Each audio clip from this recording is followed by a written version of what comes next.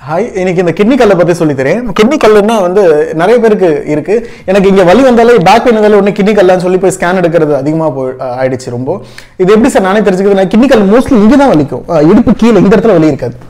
கரெக்டாக நிறைய பேர் இங்கே தான் வலிக்குதுன்னு சொல்கிறாங்க கிட்னி கல்லாம் மோஸ்ட்லி இந்த சைடு தான் வலிக்கும். இந்த வலி வந்து சில பேருக்கு வழியில் ஏதாவது டியூப்ல இருக்கு இல்லையா? நம்ம டியூப்ல போகிற இடத்துல எங்கேயா பிளாக் ஆச்சுன்னா மேபி இதுக்குள்ளேயோ இல்லை உள்ளேயோ வலி வரலாம். பட் அதுவுமே பாருங்க இப்போ ரைட் சைடு இருக்குன்னா மேபி அப்பண்டிசைட்டிஸாக கூட இருக்கலாம். இங்கே வயிறு ரொம்ப கீழ் வயிறு அடியில் ரைட் சைடில் இருந்தால் தான் அப்பண்டிசைட்டிஸாக இருக்க வாய்ப்பு ரொம்ப அதிகம். நீங்கள் சும்மா ஒரு அல்ட்ராசவுண்ட் அப்டமன் ஸ்கேன் எடுத்து பார்த்தாலே கண்டுபிடிச்சிடலாம். ஸோ அதில் நீங்கள் இருந்துச்சுன்னு சொன்னால் நீங்கள் திங்க் கண்டிப்பாக ஒரு யூஎஸ் கன்சல்ட் பண்ணுங்க. முதல்ல எதனால் என்ன வலின்னு உதவ பாருங்கன்னா பாருங்க ஆர்த்தோபெடிஷன் பேக் பெயினா இல்லை இன்னும் கிட்னி கல் தானேன்னு சொல்லிட்டு ஒரு சிம்பிள் மெத்தட் மட்டும் சொல்லித்தரேன் கிட்னி கல்லுக்கு.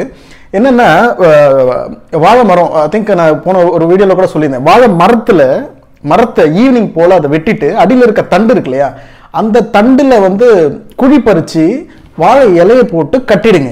மறுநாள் காலையில் எந்திரிச்சு பார்த்தா அதில் தண்ணி தேங்கியிருக்கும். எங்கே? வாழை மரத்தோட தண்டு மட்டும். அந்த தண்ணியை ஒரு கிளாஸ் மட்டும் குடிச்சு பாருங்க. அதுதான் கிண்ணிக்கல். நிறைய பேர் வாழைத்தண்டு ஜூஸ் நிறைய எத்து யாராவது ஒருத்தராவது இந்த வாழைக்கல் அஹ், இருக்குன்னு சொல்லி வாழை ஜூஸ் தண்டு ஜூஸ் குடிச்சு குடிச்சு குடிச்சு சரியா இருக்கான்னு பார்த்தீங்கன்னா கிடையவே கிடையாது. ஸோ இது சின்ன டெக்னிக் இதுதான். மரத்தை வந்து தண்டுக்கு மேலே வெட்டிட்டு அதில் குழி பறிச்சுட்டு வச்சுட்டு அதில் தண்ணி அந்த மறுநாள் காலையில் ஏஞ்சி பார்த்தீங்கன்னா அந்த இதுக்கு வாழை இலை போட்டு கட்டுறோன்னா டஸ்ட் படாமல் இருக்கும். அந்த தண்ணி அதை குடிச்சு பாருங்க கிட்னி கல் நல்லா வரும் four M five M three M நல்லா வெளியே வரும். ஒருவேளை டென்னில் வேணும் இருந்தால் சில பேருக்கு வெளியே வராது. அது வழியில் ஒரு வேலை வந்துச்சுன்னா டியூப்ல பாட்டிக்கலாம் அவங்க தேவை மேபி ஏன்னா உங்கள் யூராலஜிஸ்ட் வந்து லேசரோ ஆப்ரேஷனோ சஜஸ்ட் பண்ணலாம். பட் நீங்கள் வரக்கூடாது அப்படின்னா ஒரு சின்ன டெக்னிக் இருக்குது என்னென்னா கிட்னி வந்து நல்ல ஆக்சிஜன் உள்ள போனாலே வராதுன்னு சொல்றாங்க. ஒரு ரிசர்ச்ல வந்து ஆக்சிஜன் அதிகமா எடுக்கிறவங்களோ பிராணாயாமம் பண்றவங்களோ கிட்னி கல் வரவங்களுக்கு வந்து ரொம்ப கம்மின்னு சொல்றாங்க. இதுக்கு அதுக்கு என்ன சார் சம்மந்தம் அப்படின்னு பாத்தீங்கன்னா நல்ல ரூம் வென்டிலேஷனா இருக்கும்போது ஆக்சிஜன் உள்ள இருந்து எடுக்கிறோம் வெளியில இருந்து எடுக்கிறோம் உள்ள மூக்கொழியா கரெக்டா கார்பன் டை ஆக்சைடு வெளியே போகுது சின்ன குழந்தைங்களுக்கு கூட தெரியும். இப்போ உள்ள வந்து ஹைட்ரஜன் அயான் இருக்கு. இந்த ஹெச் ஓ டூ வந்து உள்ள போய் H two hydrogen ion bind ஆகி ஹெச் டூ ஓ ஃபார்ம் ஆகும். அப்போ என்ன ஆகும்னா வாட்டர் ரிலீஸ் ஆகும். நீங்க பாத்தீங்கன்னா கிட்டிகளுக்கு டாக்டர் போனால் ஃபர்ஸ்ட் என்ன சொல்லுவாங்க? தண்ணி நிறைய குடி தண்ணி நிறைய குடின்னு சொல்லுவாங்க. ஸோ இது தண்ணி நிறைய குடிக்கலாம் எப்படி எப்படி பைண்ட் ஆகும்னா பாத்தீங்கன்னா ஆக்சிஜன் உள்ள போயிட்டு கார்பன் ஹைட்ரஜன் பைண்ட் ஆகி ஆக்சிஜன் வாட்டர் அதுவே ரிலீஸ் ஆகும். ஸோ நீங்க பிளண்டி ஆஃப் ஆக்சிஜன் உள்ள தந்தாலே போதும். இதுக்கு ஒரு சின்ன டெக்னிக் என்னன்னா ரூம் எல்லாம் திறந்து விட்டு தூங்கு இதோ ஒரு பெஸ்ட் டெக்னிக் என்னன்னா நீங்க வந்து க்ளோஸ்டு வென்டிலேஷன் இருக்கீங்க இல்லையா? ஸோ உங்களுக்கு கார்பன் டை ஆக்சைடு தான் அதிகமாக போகுது. இப்போ இவர் விடுற மூச்சு நான் எடுத்து விடுறேன் நான் விடுற மூச்சு ஒரு ஒருத்தருக்கு ஒரு ஒரு ஒரு டைமுக்கு வந்து டைடல் வால்யூம் ஐநூறு எம்எல் டைடல் வால்யூம் விட்டு ஒரு தடவை மூச்சு இழுத்து வெளியே தள்ளுறது ஐநூறு எம்எல் சொல்றாங்க. அப்புறம் ஐநூறு எம்எல்ல பார்த்தீங்கன்னா நான் இழுத்து விட்டுட்டேன். இதே ஐநூறு எம்எல் இந்த ரூமோட வென்டிலேஷன் எவ்வளோ இருக்குன்னு பாருங்களேன். அப்போ ஒரு ஒரு அரை மணி நேரம் இருந்தாலே இதுக்கு இந்த ரூமோட ஆக்சிஜன் காலியாயிடும்.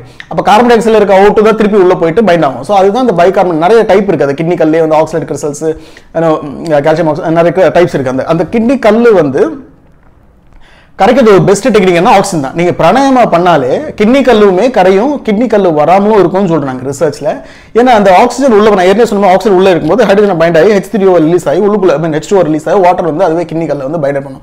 இதை தவிர்த்து ரெண்டு மூணு யோகாசனம் இருக்குது ரன்னிங் வாக்கிங் ஜாகிங் இருக்குது நீங்கள் நல்லா வாக்கிங் ரன்னிங் ஜாகிங் போகிறவங்க இருந்தா நல்ல ஹைட்ரேஷன் பாடியில் நல்லா ஹைட்ரேட் பண்ணிருந்தீங்க நல்லா தண்ணி நிறைய குடிச்சாலே கிட்னி கல் வராது. நிறைய பேர் யூரின் போறதுக்கு அசிங்கப்பட்டோ இல்லை தண்ணி தாக எடுக்கலன்றதுக்காக தான் மோஸ்ட்லி கிட்னிகல் ஃபார்ம் ஆகுது. சூப்பர் டெக்னிக் என்னன்னா ரூமை நல்லா வென்டிலேட் பண்ணி தூங்குங்க. அதாவது ரொம்ப க்ளோஸ்டு வென்டிலேஷன் இருக்க வேண்டாம். ஸோ அப்போ வந்து ஆக்சிஜனோட ப்ரொஃபஷன் கம்மியாச்சுனாலும் கிட்னி வரும்னு சொல்கிறாங்க இன்னமும் ரிசர்ச் அண்டர் ரிசர்ச் ஒன்றும் போயிட்டு இருக்கு. நிறைய பேர் இன்னும் ஸ்டடி பண்ணியிருக்காங்க. அதில் ரிவ்யூ ஆஃப் லிட்ரேச்சர் ஒன்றும் போயிட்டு இருக்கு.